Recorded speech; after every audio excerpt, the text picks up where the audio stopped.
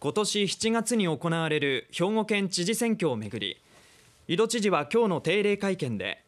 日本維新の会が擁立する候補を支持しない考えを示しました。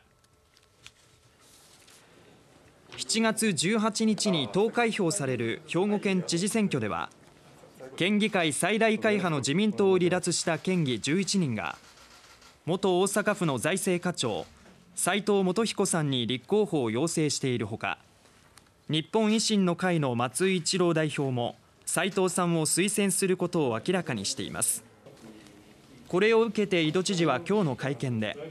維新の候補を支援しないと述べました。まあいずれにしても私があの維新の候補を応援するということはまず考えられない。兵庫県知事選挙をめぐっては前の副知事の金沢和夫さんと元葛西市長の中川長三さんが立候補を表明しています。